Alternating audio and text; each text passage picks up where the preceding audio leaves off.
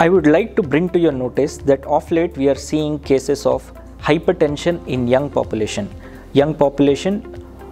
where the age of the person is less than 35 years age, where there is a newly detected hypertension and uh, as per the studies more than 80 to 85 percent of the cases who have hypertension who develop hypertension in less than at less than 35 years of age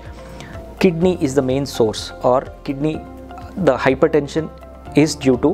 kidney failure or kidney dysfunction. So friends anyone who has a hypertension detected at less than age of 35 i would please please urge them to get their kidney function test done and a basic urine evaluation done. And please consult a physician or a nephrologist at the earliest so can so that we can detect the kidney disease early and initiate treatment early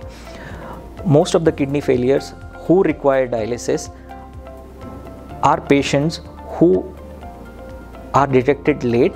and do not seek proper guidance and treatment for their illness. Thank you